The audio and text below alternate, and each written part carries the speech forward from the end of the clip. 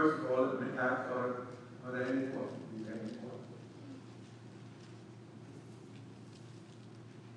You have?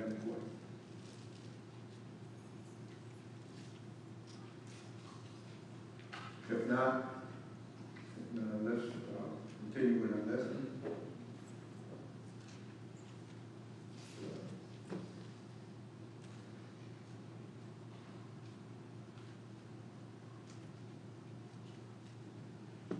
So we were dealing with, uh,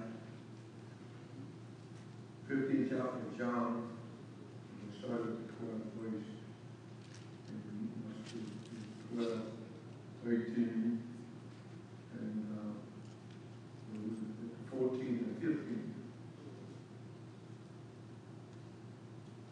Let's, uh, look at it in the scripture, verse fourteen and fifteen. Am I comfortable, you cool, I, comfortable?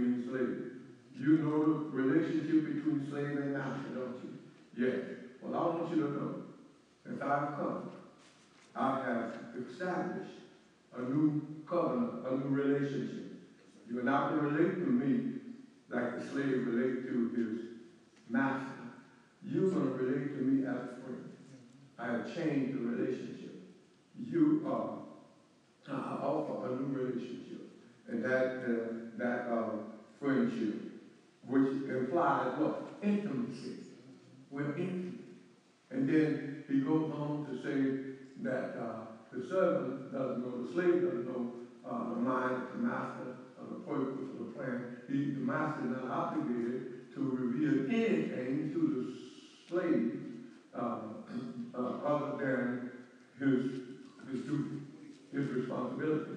Not so you, you can know my mind. You know the mind of the Father. You know the nature of the Father. Your relationship with the Father is so close that uh, you can, you're a part of the inner circle, the inner work. Not only will the Father tell you what to do, the Father will give you a reason for doing what He asks you to do. And uh, also, the, unlike the master and the slave, the slave is told what to do and he does it. And so fine, you've done your duty. You don't look for nothing else. You've done your duty. But not so with, with, with, with uh, my relationship with you. I'm going to tell you what to do. Then I'm going to give you a Holy Spirit. And he's going to empower you to do it. And not only that, I'm going to attach a reward too. But if you do what I tell you to do, you can ask anything in the Father's my name, and the Father will do it. You see that? Here it is, uh, uh, uh, you know what I, I what, what uh, I ask you to do. You understand it. I give you my Holy Spirit, who will empower you to do it, and then I'm going to reward you for doing it. Well, you're going to get a deal it. Yeah. And so then, this is what he's about. I call you from the relationship of God to his people under the law was that of master and slave.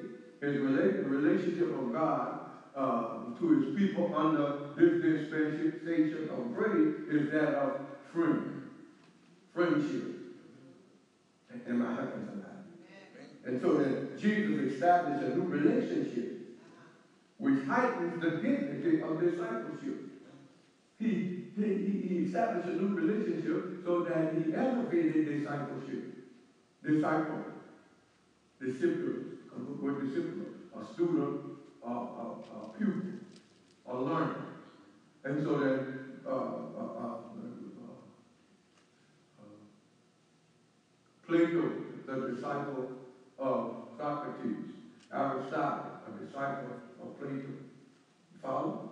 Okay, so so so so uh, uh, a learner, a pupil, or a student. And so Jesus elevated the meaning of discipleship. And so to the point that you are a learner, a pupil, a student in my school, and being in my school, you're going to learn about the Father. You're going to learn about me. You're going to learn about the benefit of discipleship. You're going to learn in my school. You are a disciple, as a pupil, as a learner. You're going to understand this, that under this relationship, God didn't have to do it. I don't have to do it. But under this relationship, you got to understand this, that God has obligated this covenant relationship between me and you, between God and you. And he's talking to you. He's telling us tonight. Under this covenant, this new relationship, he says God is obligated to do certain things. God can save you. God can keep you safe. God can give you grace sufficient to meet all your needs. God is going to provide. But God is going to fight your battle. God is going to give you guidance. God is going to encourage your heart. He's going to pick you up when you're down. He said, that's God's responsibility. He said, now, this relationship has a reciprocity about it. You also have a responsibility to obey Him, to trust Him, to walk faithfully, uh-huh, to witness for Him. Do you follow? In this relationship, that in the relationship between master and slave, the slave has no right. You do what I say do, it's a one-way thing. But in this relationship of friendship, it goes both ways. And God is obligated to take care of us. Oh, how we obligate God? Oh no, we didn't obligate God. God obligated himself. We can't obligate God to do anything. But God has put himself under obligation so that if you believe in Jesus, he's going to save you. If you lean not to your own understanding, he's going to direct your path. If you hold your peace, he's going to fight your out. God put himself under that obligation. God doesn't have to fight your battle on battle. But he put himself under obligation. That's the new relationship. Yeah. John here in uh, the 15 verse says that a servant does not have a close relationship with his master. Mm-hmm. Then in, in, in Paul's letter, uh, uh, epistle to, to Titus, Paul said, I'm a servant of Jesus Christ. Mm-hmm. What's the difference difference between those two servants? The, the, the difference, they were both from being slaves, and so the difference is that there's, uh, in the earthly situation where the, uh, uh, uh, the slave, uh, in the earthly situation, the death of a slave and a master, it is an imposed or forced slavery. You're going to be a slave whether you like it or not. When they brought the boys from Africa, you coming over here, you're going to be a slave. That's a forced situation. Paul's situation and ours is a voluntary slavery. That's the difference. Paul volunteered, we volunteer to be slaves because of the benefits, because of the promises. That slave, again, in the other situation, the physical situation, he had no choice. We got a choice. And so the, the choice is that I place myself under the lordship of Christ. I do it because it's my best interest. I do it because of the fact that there so many benefits. There are eternal benefits. There are earthly benefits. And then something or somebody going to rule our lives, it is best that we choose who's going to rule this life. Yeah, that's, that's the difference. That's the difference. We always have to uh, interpret scripture according to first century, not the first century. It's according to the first century. How they understood it, how what the writer meant to communicate. And then too, we can look and say, well, in the 15th verse. But remember, when these letters were written, and when the Bible writers wrote the letter, there was no such thing as book, book verses and chapters. Everything was just one. It wasn't around the 13th century, whatever it was, that the Bible was divided into, has been divided into chapters and what? And, and verses. Do you follow? That makes a whole lot of difference because they were not, their aim was not to segment. They just wrote all in one. And, and, and, and, and what they wrote had to be interpreted according to the culture of the time in which they lived. And so then what, again, if you're looking at this, uh, when he said, uh, uh, servant does not have close relationship with the, the master, what the writer was doing was showing and it's all what was this, to show the difference between, uh, master, slave relationship, and Christ, and, uh, uh, uh, a believer relationship. Two different things. One was forced, the other one was a volunteer. One was a one-way thing where the master did all the, called all the shots. The second one was a two-way thing. And the master called the shot, but he has opened and given us liberty to express ourselves and to express our So, feelings. so can I conclude then that John was referring to a worldly relationship here, and Paul was, was referring to a spiritual relationship? You can conclude that by saying, uh, John compared, what John did. John compared the relationship of a slave to his master with the relationship of a believer to his Christ. That's what he, that's what he do. And he did it for the purpose of showing that the relationship of believer and Christ is far greater, far more rewarding than the relationship of master and slave. And so we look at it and we understand it from that standpoint. We can infer from that that what he also was saying was that it's better to be under the lordship and the tutelage of Christ than it is to be under the tutelage of this world system, a political system, uh, a philosophical system. It, it, it, it. The slave had some benefit. Don't, don't, don't, don't, don't take it to mean he didn't have any benefit. The slave had some benefits. He had a place to sleep. He had food to eat. So he had some benefit.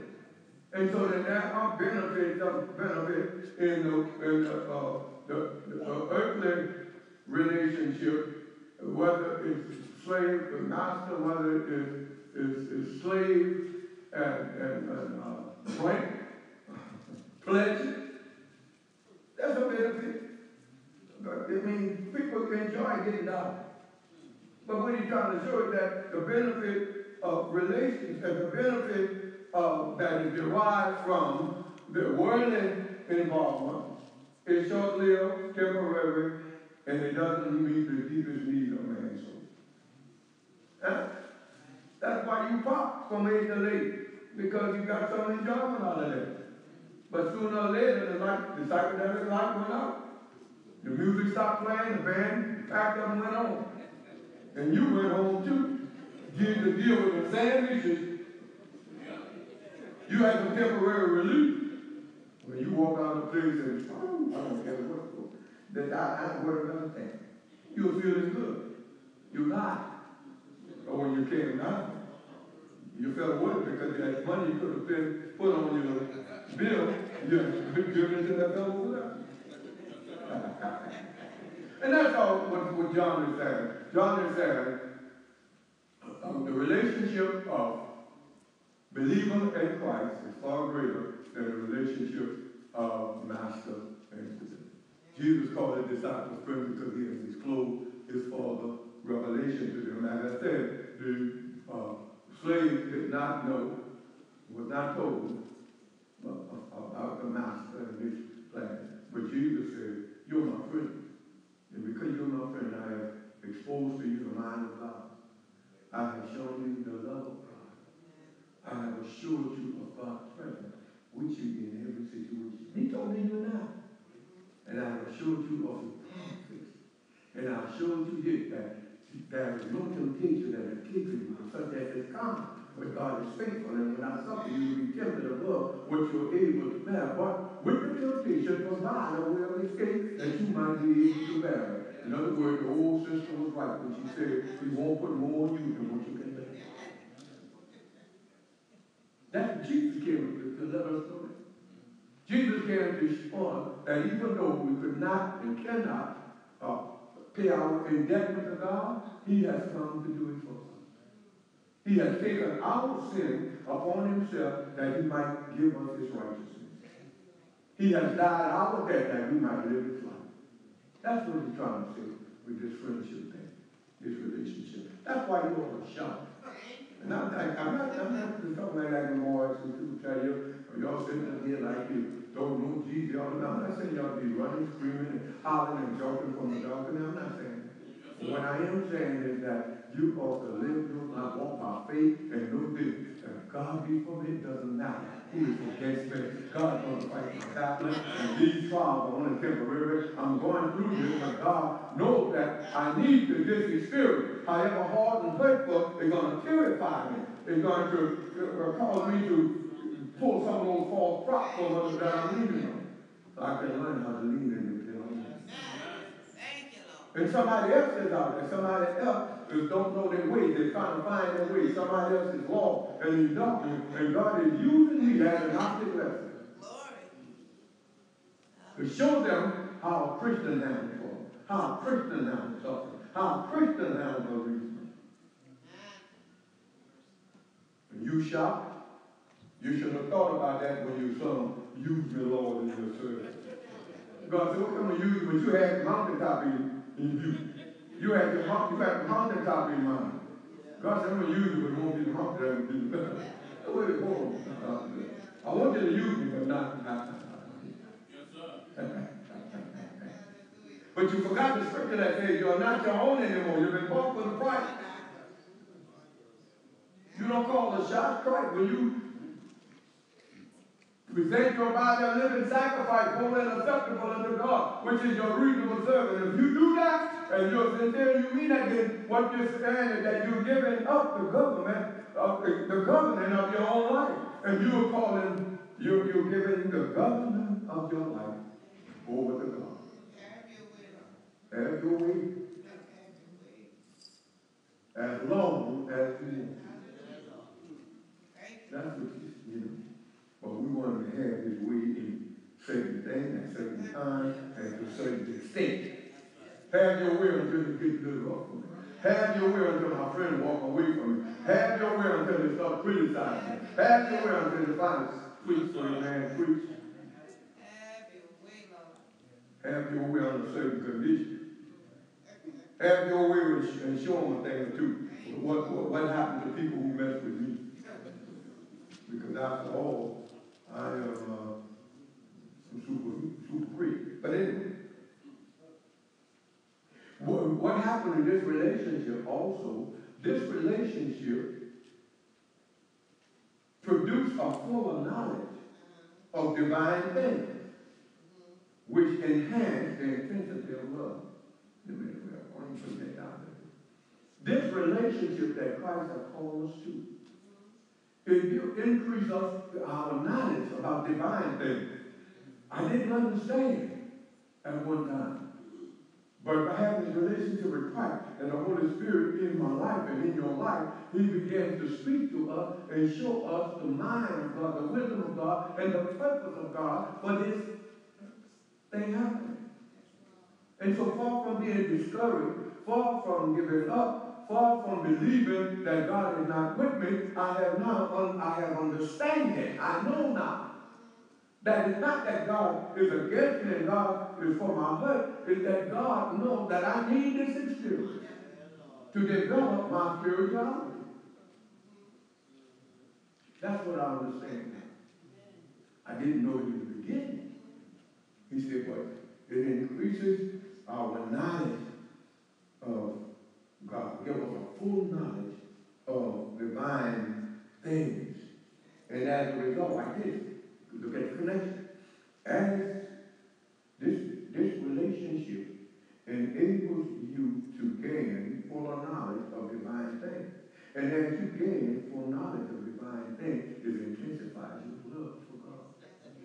When I realized God, I was, I was like a, I was like, I got, I got up here.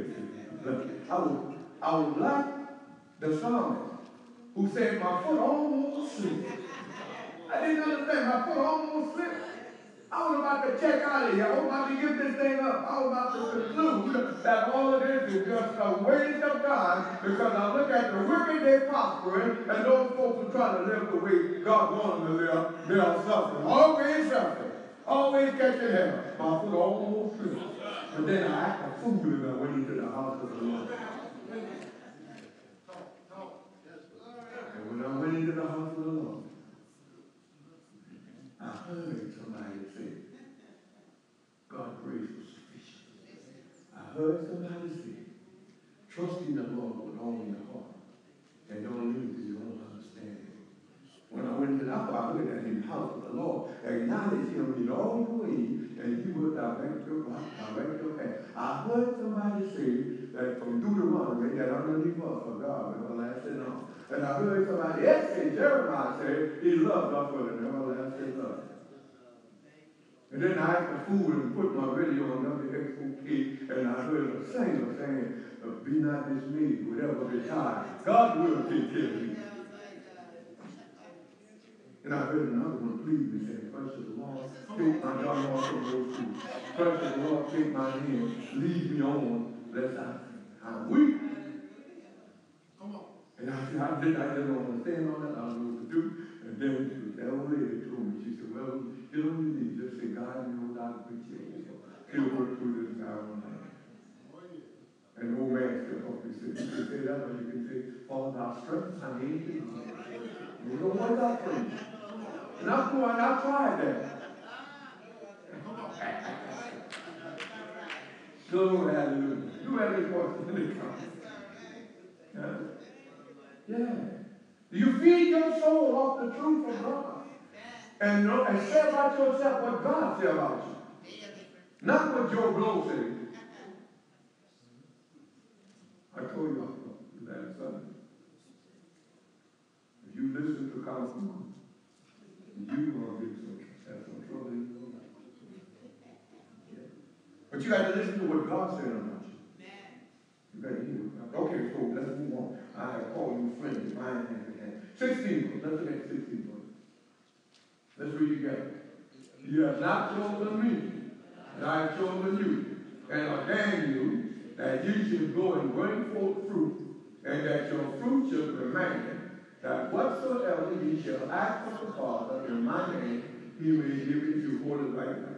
Now let me show you how your Bible reads, and then we'll get back to this, okay? I chose you. See, you have not chosen. You, you, your Bible said it, you know.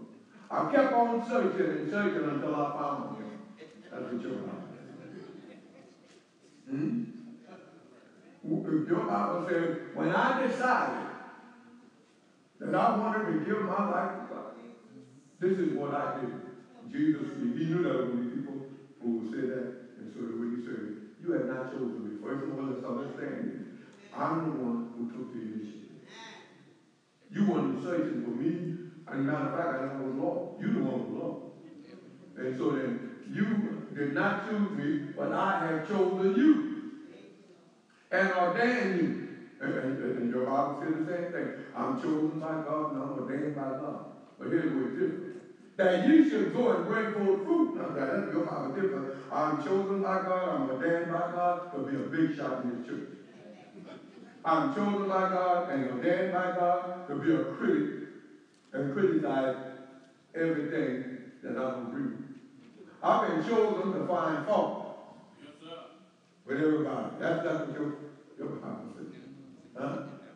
I've been chosen to be on stage inside the building. No, he said, he give us a reason. That your should remain. That's what that's about. You can tell. Let me show you some things about this uh, scripture. First of all, you have not chosen me. That's divine choice. We are the result of divine choice. We are here tonight, we're saved tonight because God ch- chose us. And divine choice with a blessed design. In other words, God chose us and He had design, He had uh, a purpose. That's what I'm trying to say. A blessed purpose. A glorious purpose. He just didn't save us to save us. He saved us for a purpose. That ye should go and bring forth fruit. First of all, disciples should take an independent place for themselves. I chose you, and we must fellowship together, we must serve together, but at some point in time, we got to understand that it is your uh, responsibility to come upon us to take an individual and to see this as from an individual perspective. Not to wait until a group decides, not to wait until somebody gives us a, we ought to take responsibility for serving God, for, for witnessing, uh, for uh, uh, uh, uh, evangelizing on our own. You, you, you're in a supermarket, you're in a, doctor's office, you uh, on the football field, you're in the stand. You can't wait until the group says let us have prayer service. You have to be cognizant of the opportunity that God might give you to witness to somebody who may be sitting right by. If somebody is vaping in your community, they need a, an encouraging word. You got to take responsibility. You see, you are not responsible for creating opportunities. You are responsible for keeping yourself in position and walking with God obediently and living from the standpoint of integrity so that when the opportunity comes, God will give you the opportunity.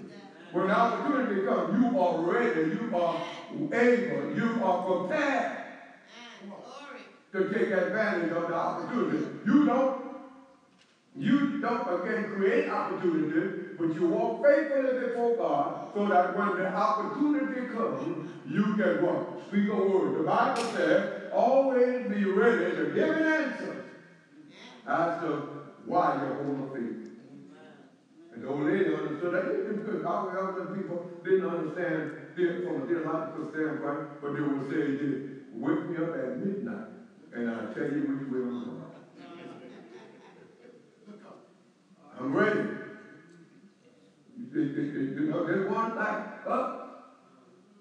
And so, before we can think about it, think about it.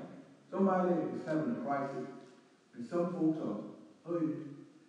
And, and, and you got to wait until, you got to call the deacon to come pray, but we got to have devotion.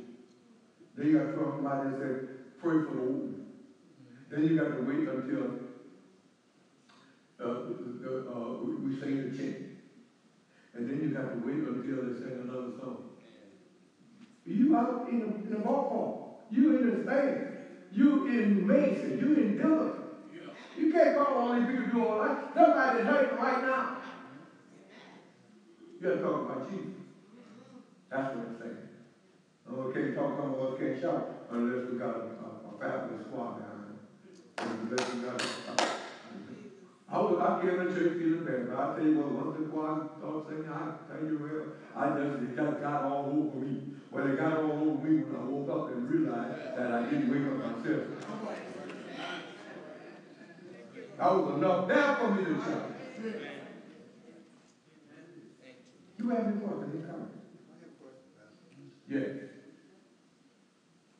Can you reconcile for me three words? Chosen. Chosen, predestined, and free will. Can we reconcile? Yeah, yeah, because- because sometimes I, I get a little puzzled about those three words. Mm-hmm. You know, chosen, predestined, and free will. Mm-hmm. Mm-hmm. Yes, put it this way.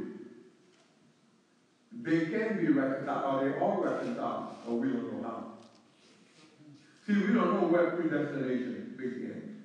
We don't know where, we don't know where free will begins. That's in the mind of God. We don't know why God would change Paul's life on the Damascus highway, give him that great experience, and yet at the same time, don't do it for all other people who are lost. So somebody would say, if I was traveling in a certain direction and was knocked down off my feet, and I saw a light, and I heard a voice, the interpretation is that of the sound. And, and, and I, the, why persecute me? Somebody said, if I, all that happened to me, I'd be saved too. Why God did it for Paul and didn't do it for Why did God say, I hardened Pharaoh's heart? Well, if God hardened your heart, mind to work in your belief if God hardened your heart. But God hardened his heart because Pharaoh had already hardened his own heart.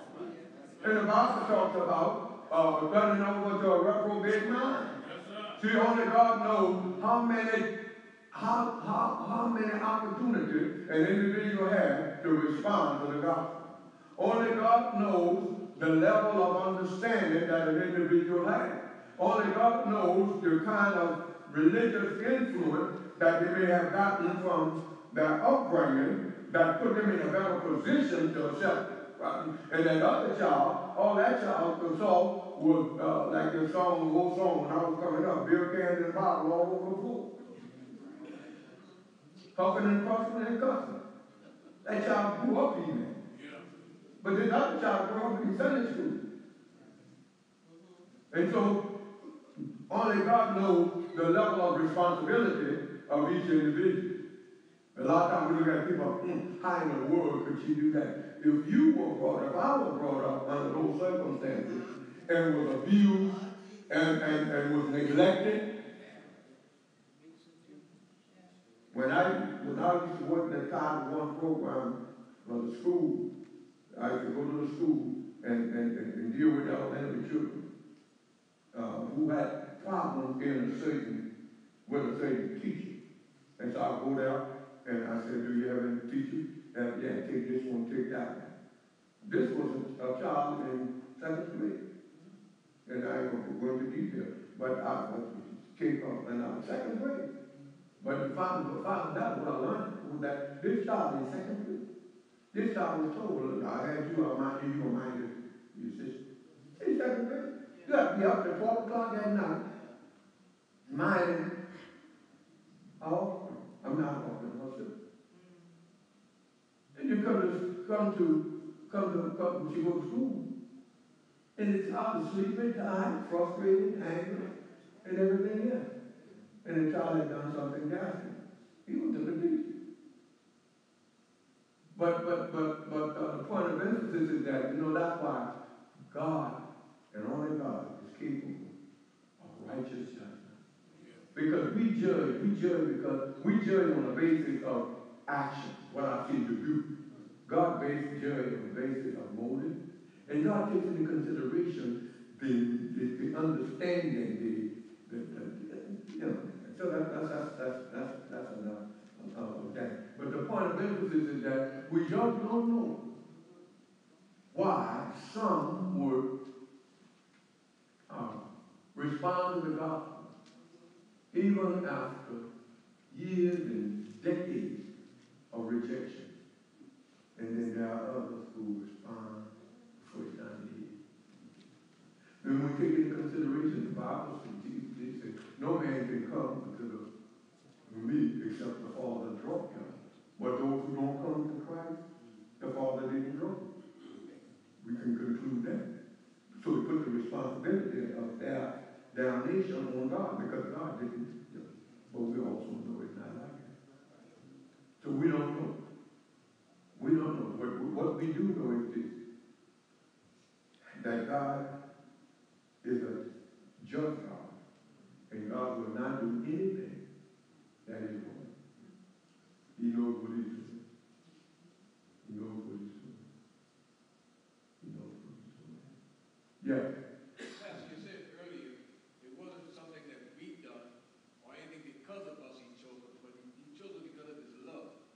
Can you look at Ephesians one, three, four, five, and six and kind of show the parallelism into why he chose us compared to what you just said a few minutes ago? Yeah. Okay. God and Father of our Lord Jesus Christ, who has blessed us with all spiritual blessings in heavenly places in Christ, according as he has chosen us in him before the foundation of the world, that we should be holy and without blame before him. You know, first of all, look, when you look at that, according as he has chosen us in him before the foundation of the world. In other words, before God created the world, he had already ordained that we be saved. Now, saved are placing our faith in Jesus Christ. It doesn't mean that God chose 15 over here to be saved, 15 over here to be lost. That's not what he's saying. You can look at it and say, well, that's what, that's what it means. No, that's why what Peter said, no scripture is of private interpretation. You can't take one scripture, two scriptures, and base the doctrine of it. Scripture must explain scripture.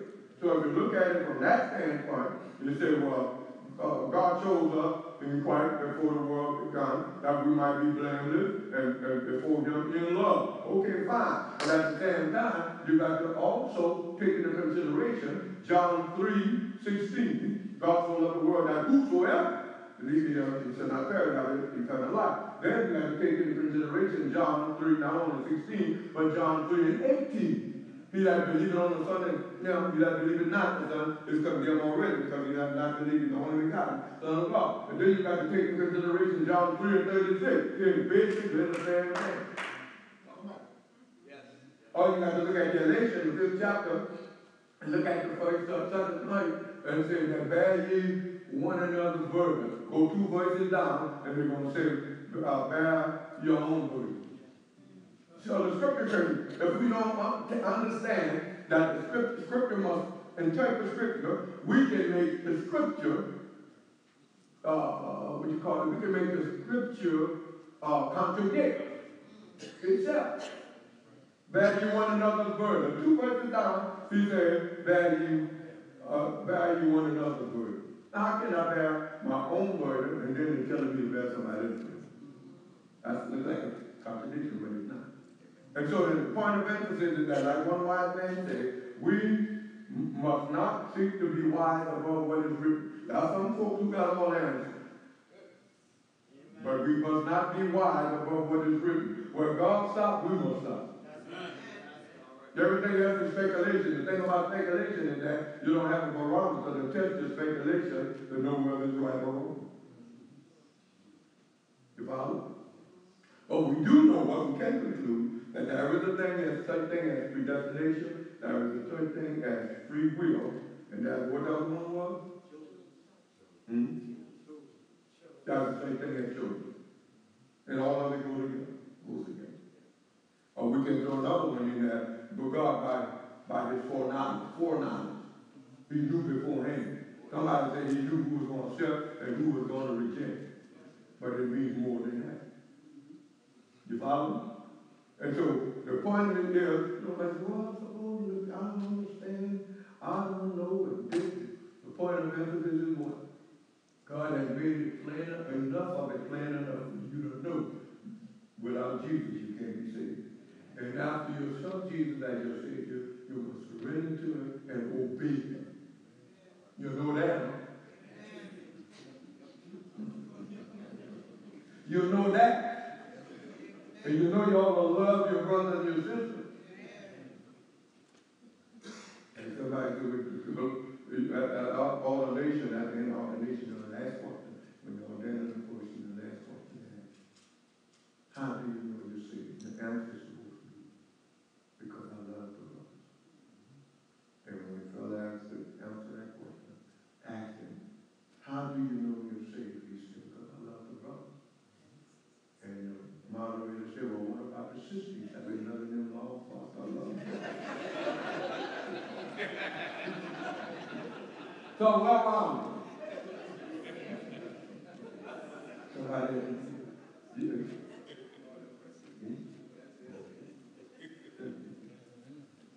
well, but, but, but, uh, okay, so let's, let's, let's, let's, let's move. Uh, I said, first of all, the design of election is for the disciples, that the disciples should take an individual pray for themselves. It's you. God has chosen you.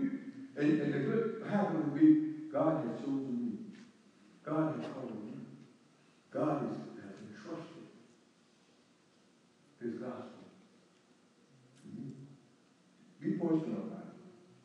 That they should also, has chosen us that we should be abundant and effective in our labor. Look what he said.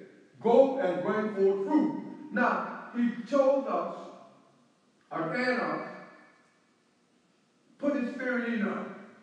And he says, go and bring forth fruit. Which tells us there is no justification for fruitless Christians. He said, go and bring forth fruit.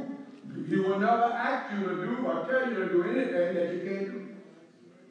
And he has also promised us that not only we are able to do it, he has promised to do it through us. And so there is no excuse. No justifiable excuse. Well, I, we are called to bring forth fruit. The fruit of a cat is another cat.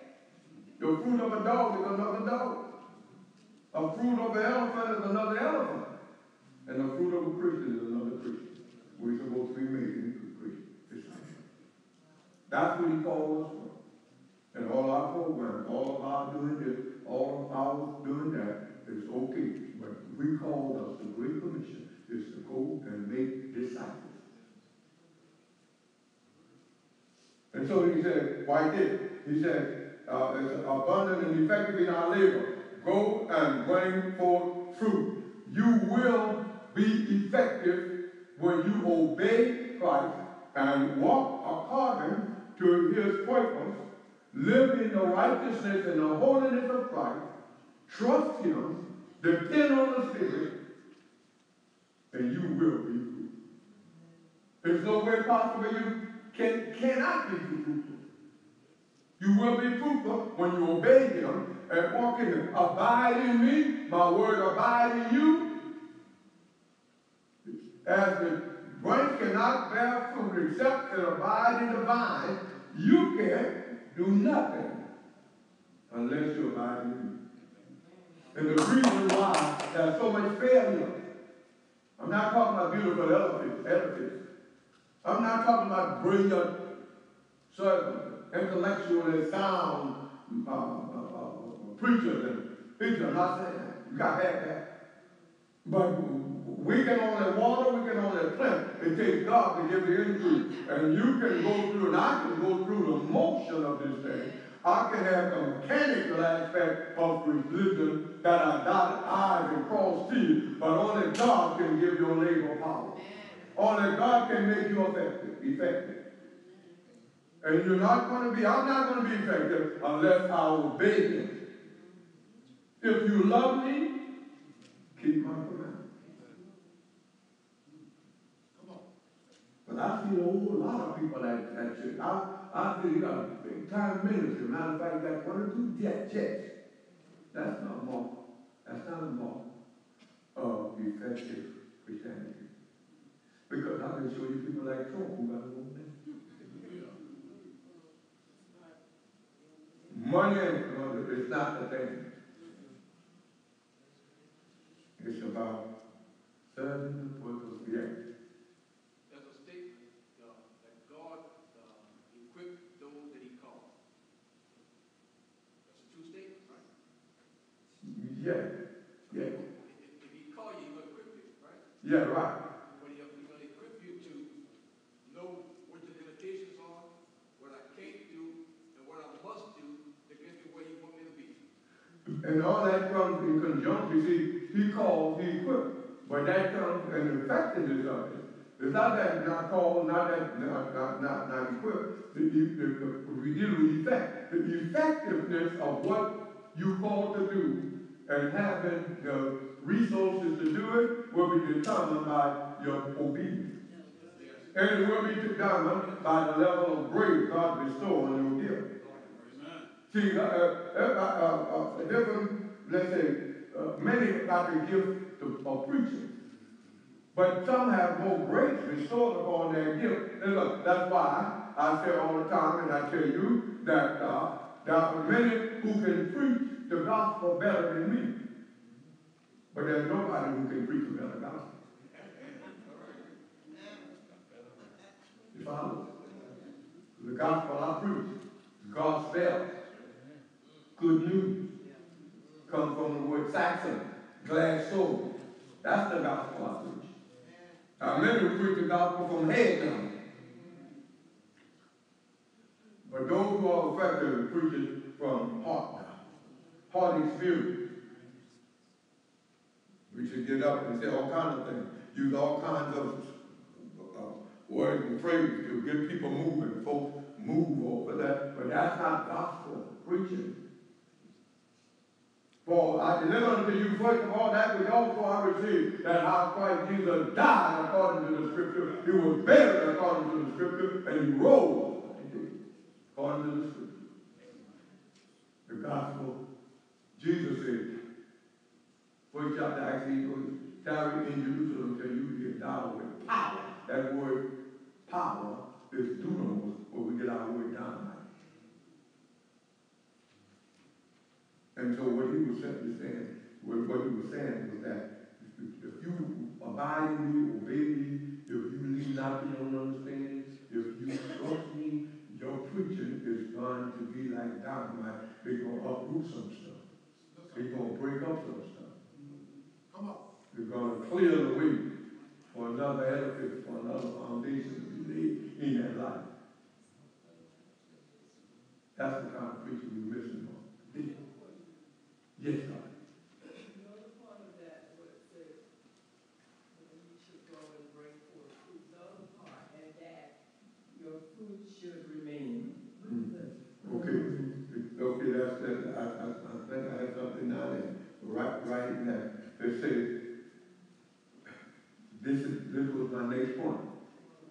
The, it, it should be abundant and effective and able to bring forth fruit. My next point was this. The fruit that you bring, that the effect of their labor should be lasting. it should remain, in other words, longer you know, The fruit that you grow forth is going to still have effect. It's still, but the fruit is still going to nourish somebody. It's still going to encourage somebody. You're going to, like C.L. Franklin, who preached when he uh, in one of the sermons, he said, I want my life to be like the person talked about how Ingersoll, Ingersoll. He said, Ingersoll said, I want my life to be like an ocean a sea, a great ocean that swept upon the shores of many human hearts. That's what I want my life to be. I, I want my life to be like that. And when I'm going on, I don't want y'all to forget me. Forget me. Yeah, I, I want you to say, if Rev was here, I'm not here. Some other Rev is here. You follow? But I've served my serve this present age, my call I to fulfill. And may I, with my power and gate, to do the master's work. And when I've done that, when I have used up the time and, and, and used up the, the, the energy and everything that God has assigned me, assigned me, I'm checking out. And when I check out, I do want somebody to remember something that I said, Come on. or something, no something, well, well, well, I said fine, but I want them to remember my commitment, my dedication, my unswerving commitment to truth. That he's preached it every step of the way. He taught it every step of the way. And They don't want, well, we're gonna, we're gonna give him his due. Look, when I get there, I'm gonna get far more than what anybody myself could ever give you. So it's not about giving him something or giving him something. Just thank God, hope I live in the way that you just thank God I passed this week. And I'm not talking about I'm talking to y'all too. Yeah, uh, the friend also said, he said that, that he said, when you, for the funeral, he said, you see those words on the casket saying, at rest. So when you look at it, he said, at rest. He said, not all the time it means that that person that casket is at rest. Sometimes it means the people who knew are not.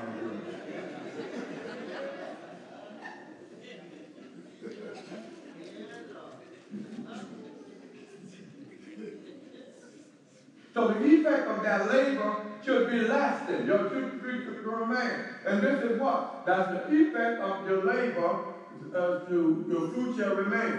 But also, there is encouragement to labor. He is encouraging them to labor. That whatsoever you ask the Father in my name, do you see the connection? You're chosen, you're ordained for the purpose of bringing forth fruit. And you're going to bring forth fruit this says that you're going to be effective if you follow. Now, the, the, the, uh, you're going to be effective, and then I understand that bringing forth fruit, laboring, preaching, gospel, testifying, he's gonna bring the hatred of the world. You're gonna see that he's gonna change his, his, his, his, his, focus. But he know, he knew that this would bring a challenge to them, and many would dislike them, and they were gonna go through some hardship. And so then, he said, your fruit gonna remain on earth. Now, I need to encourage you to involve yourself in this task. I need to encourage you to weather the storm. I need to encourage you to stand even when the world is on fire.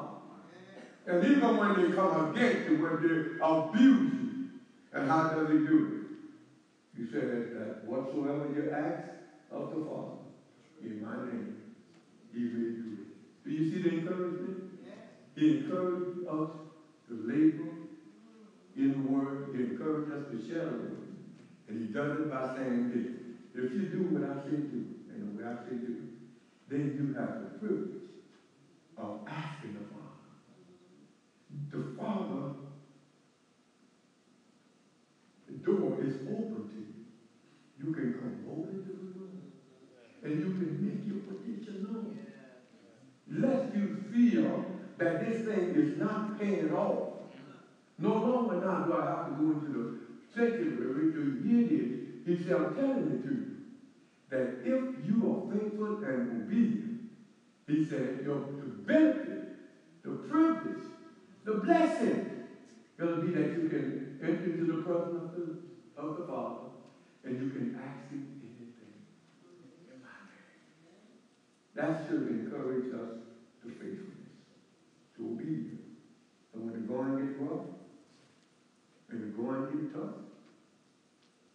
when the going gets rough, the going, when the going gets tough, and the going gets rough, you got to learn how to encourage yourself. Say, you know what? Being faithful to God means that I can go into, come into His presence. He invites me to come. And He encourages me to be steadfast and unmovable. Because He, He knows my every week. I just can take it to Him in prayer. Have you tried? And temptation. Come with it. Jesus knows. The God. Encourage yourself. Fussing and pouting, getting angry, feeling sorry for yourself. Jesus said you don't do that. He said you just keep moving, keep pushing, go forward. He said as you do that, you got the privilege and the satisfaction of knowing that you can come to God and make anything, but not only for yourself, but for your children, for your friends. You can pray for others. That's the privilege that God gives us. Am I helping somebody? Yes, I am. Okay. So then, now, okay, let's I gotta go to 17. Let's read together. These things, the thing that he said, I command you that you what? Love one another. Okay, go to the next one. 18. Go to 18, go to 18. Let's read. If the world hate you, you know that it hated me before it hated you. You see, you've been talking about being chosen. You've been talking about being ordained. You've been talking about the purpose of being chosen. That you might go and bring forth fruit. He shows the effect of it. You're going to bring forth fruit. And he also gives you uh, an incentive. That whatsoever you ask in my name. You've been talking about that. But now you see him now. He changes his focus. He's not no longer telling them about the call, the chosen, and what they're going to do and what they can do. He begins now to show them the, hatred of. He said, this is what you, this is what I call you for, this is what I chose you for, these are the blessings that involved. You have the privilege of being my friend, and so he, he, he said all of that. But then let they say, boy, folks look at us and say that we did, and, and people just going to admire us, and we're on top of everything. Lest you get that attitude. He said, I'm just telling you attention now to what the effect is going to be as a result of you doing it, what the defense is going to be coming from the world. The world going to love you. The world going to reach. The, the world going to admire you. He said, far from that. He said, the effect of this new relationship is going to invite the hatred of the world. But also, let you think it's a new thing, and that's the thing that is all personal. You need to know that the hatred of the world for you uh, originated in this hatred for me. Because you, the world hate you. This, this, the cause of the world hate, no, sorry, yeah. Uh, the cause of the world's hatred, the believers, the hatred of the world is proof of the union between Christ and his disciples. John said that uh, who, whoever loves the world, the love of Christ is in them. You can't be a friend of the world. When he's talking about the world, he's not talking about the cosmos, he's talking about the world system. That system that is predicated on philosophy. Christian is predicated on self-help, or uh, that believe that it can handle all by itself. When you hear me talk about that pragmatism, utilitarianism, relativism, secularism, modernism, that segment was humanity that said we don't need God. And the world's going to hate you because you live by a different system. The world is going to hate you because you have a different value system the world. Says get all you can, and you live in the same way you give. The world says get to the top, even if you got to step on folks. His way says push others to the top. Consider others before you consider yourself. See, the world not going to like that. Last night on the news, they were showing in some parts of the United States that this group, uh, uh, garage mechanic shop, shop, they show you it, that they fix cars and charge people nothing. And if they had God's ministry or God's dealership or God, whatever you call it, huh? God's garage. Yeah, Do we find that. The, the world, uh, that you bring your car in here and you got a broken wire, I'm gonna tell you that this, this is gone. I'm gonna tell you the alternator is shot. And I'm gonna tell you this, and I'm gonna charge you for a new motor. And all I did was change the head. But they, they, these people fix the car. Uh, And giving, they fix and giving car.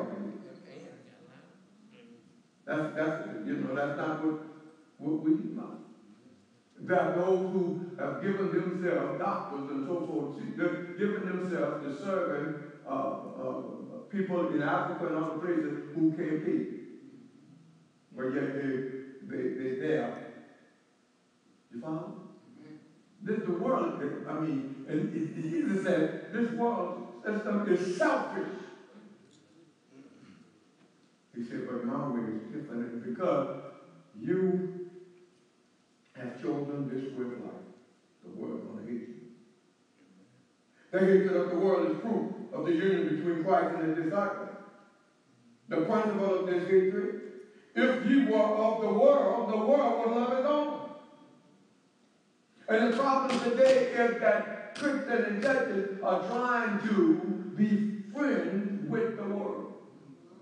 We don't want a bad name. We don't want to be criticized. We want to be modern. We want to be up to date. And so the only way to be up to date is to get your song together like the world song. That's up to date. Yeah, no. Mm-hmm.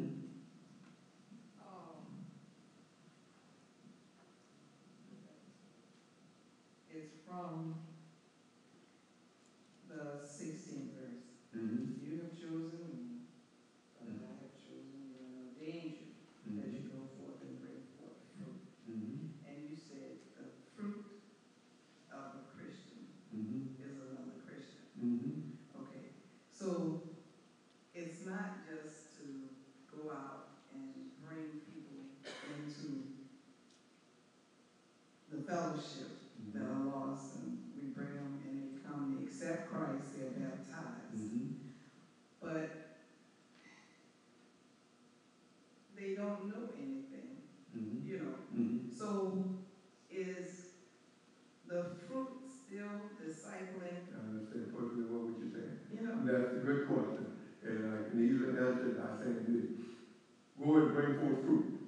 responsibility is to go and share the gospel with those who are lost. Once we do that, we have fulfilled our obligation. The Holy Spirit will take that witness and, and, and, and regenerate the, a person. And this is the point.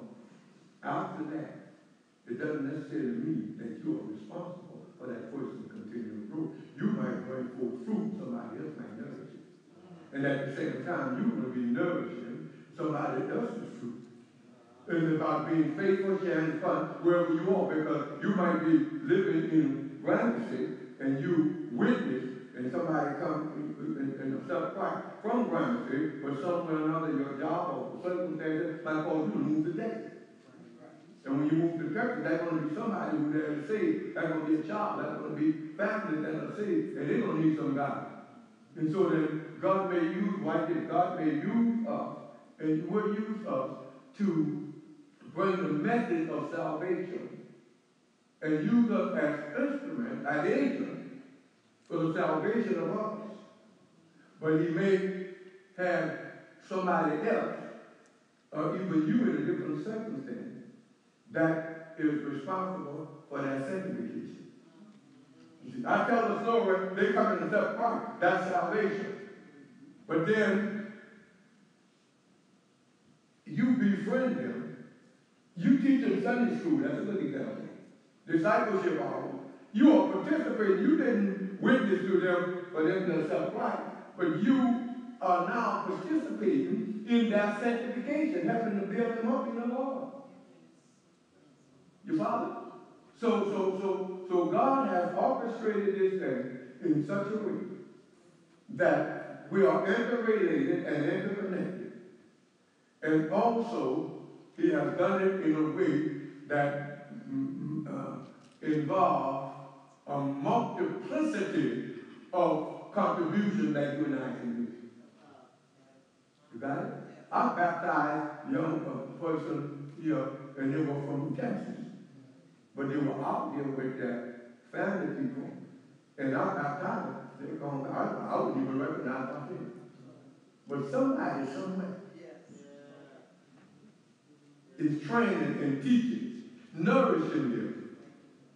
And at the same time, you, when you was in that in the school system, or you was on that job, that were children, that were saved. But you had no hand, so to speak, in that salvation, but you certainly taken part in that sanctification. That's why we labor, that is so true. That's why, that's why we need laborers. We need laborers. We need Sunday school teachers, uh, uh, discipleship hour teachers. We need uh, uh, uh, gym, girls enrichment ministry. We need, uh, we need folk working with the young boys and young men. You follow? I got a, a, a, lot of them today from uh, Southern Baptists that have uh, well, well, men, men uh, uh, ministry that's going to be uh, in that? In Virginia? In Mobile, Alabama, in February. I might might go there, or whatever the case is. Okay. But the point of emphasis is that young boys need to need direction, especially black men, the black men, the black men. You know, somebody had to take our time. But remember, Jesus said, "Pray the Lord of the harvest." That he sent laborers into the vineyard because the fields are white unto harvest. The laborers are few. Where's the problem? The problem is right here. The problem is right over there. You know the problem? The problem is that many folks will front their little so-called knowledge in front of other folks when the boys are out there, black boys. We got time for that. I don't want to get too deep in that. We don't have time for it. But the- out there in Europe, we won't shine there. We won't shine behind that. We won't shine over here. Oh, Lord. Don't get me into this. We won't shine. We get mad when we can't shine. We blame other folks for not letting us shine. And God said, listen, them boys out there don't have no guidance don't have, don't know how to respect your leader. Don't know how to come. But you walk shining here. I'm sorry,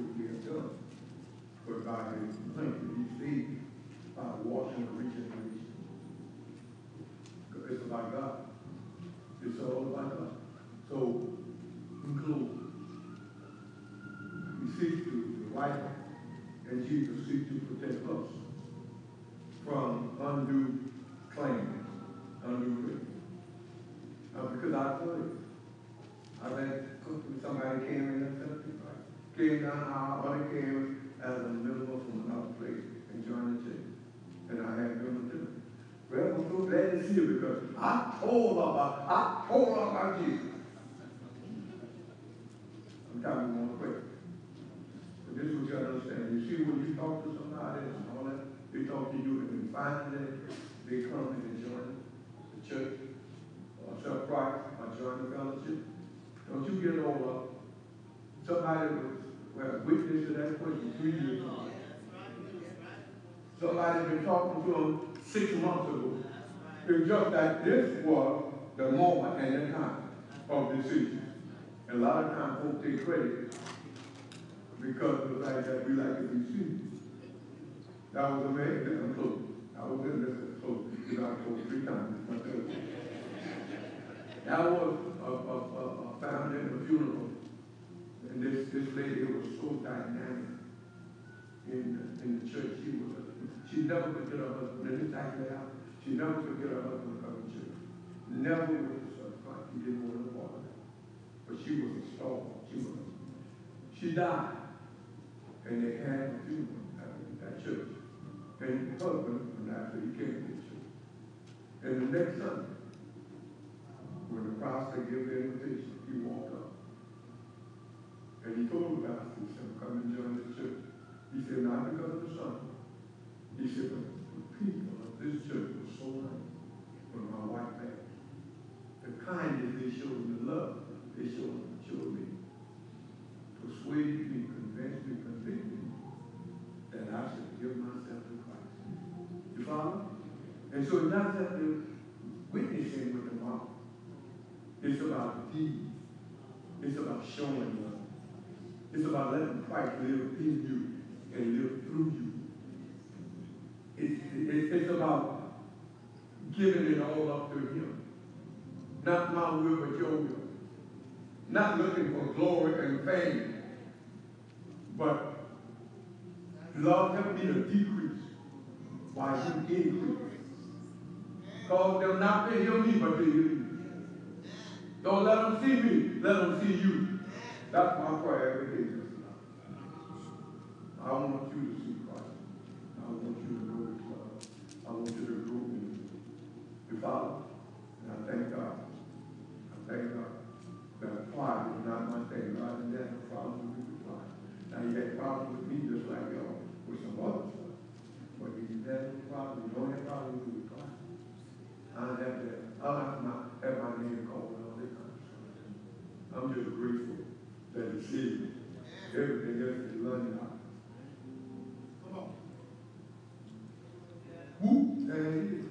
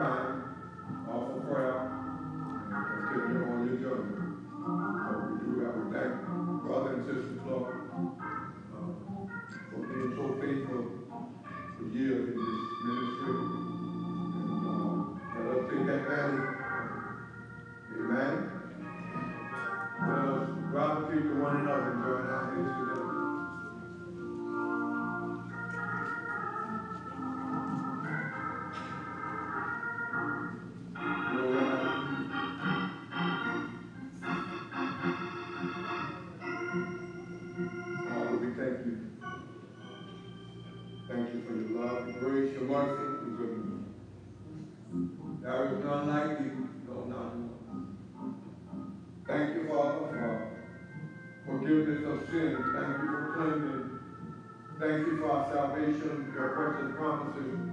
Thank you for committing yourself to our welfare. We thank you for your word tonight. We pray, dear God, that your word will have an abiding place in our hearts.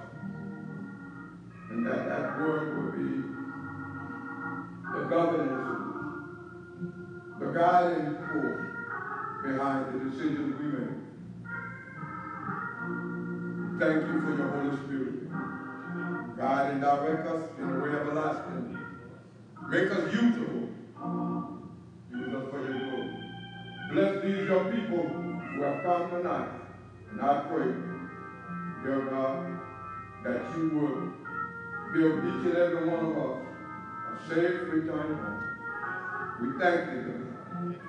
Thank you for your love and your grace. In Jesus' name, amen.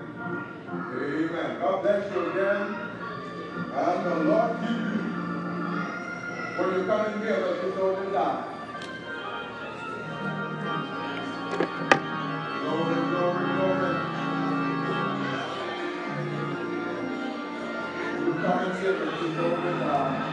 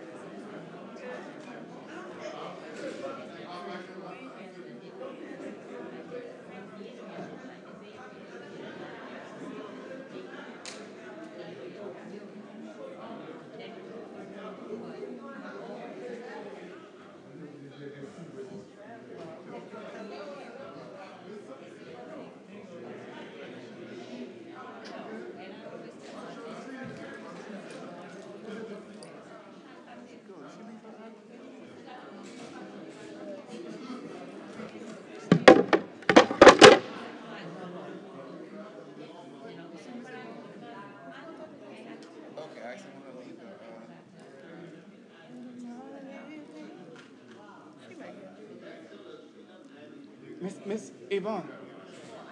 You don't, you don't get us, huh?